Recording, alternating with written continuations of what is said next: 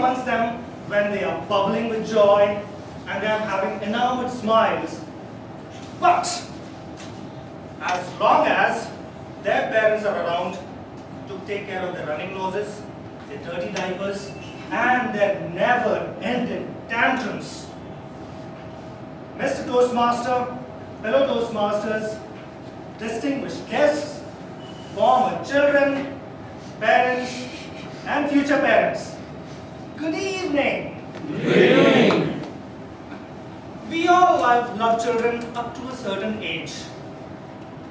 The day they start to talk, walk, or know how to control their tear ducts to make demands is then when we realize that it is the Loki himself, the god of mischief, that has taken the form.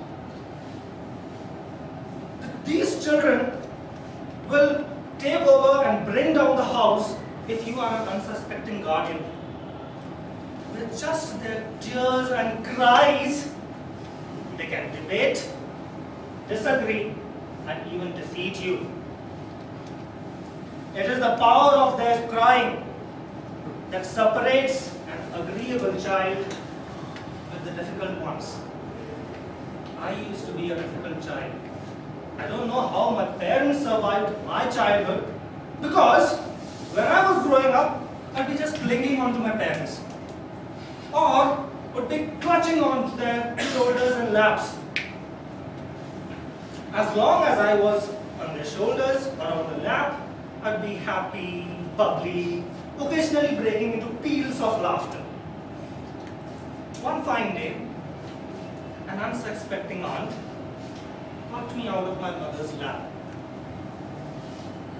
I was happy and in chatty mood when suddenly I was silent. I was staring at the face of the stranger with uh, ever-reducing joy and growing suspicion and anger. And my face was contorted with fear. It was drooping with sorrow. And then the dams burst open. And I wailed, Wah! I was inconsolable. and nothing could placate me for the next one hour. Talking of crying children, my father narrates his favorite anecdote when he took me to the hospital for an inoculation shot. As soon as the syringe needle pierced my bum, I grimaced and squeezed. my bum, not the syringe. Till I had a bent needle poking out of my behind and all hell broke loose. There was a furrow all around while I was trying to bring down the ceiling and the doctors and nurses were trying to remove that needle as delicately as possible. But the best part is yet to come. Outside the ward, there were 20 other infants and children who had gathered. Hearing my shrieks, they started to cry together. Some were crying in unison, others in tandem. Imagine 20 odd wailing faces who are trying to compete against each other. Well, if you thought that crying is when the children are troubled ones, and when they grow and then they can express themselves, all things would be okay, well, you have a disaster waiting in your hands. My mother narrates this, that when I started to talk, and it was about a year later, that one day I announced, Ma, bhais aaya which, which means, mother, a buffalo has arrived. now if you are a person who maintains a garden right in front of your house, and somebody announces that a herbivorous animal like a cow or a goat has strayed in, what would you do? It's the obvious thing. You are asking to shoo it away. So my mother said, well, shoo it away. Well, well, I did not know what shooing away was. I announced again. Parents are. that was in the front room and my mother came rushing out of the kitchen, opened the door and then with the rolling pin in my hand, go! Just to see our milkman, Mahesh, standing to deliver the milk. grinding his feet and his teeth.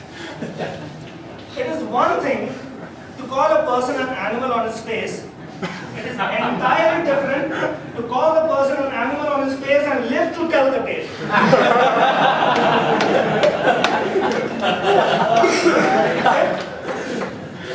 if you thought that incoherent children are a disaster, when those who speak coherently are embarrassment.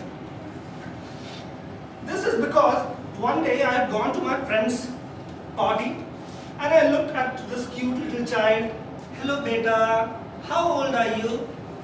And she looked at me. Well, I am three years old.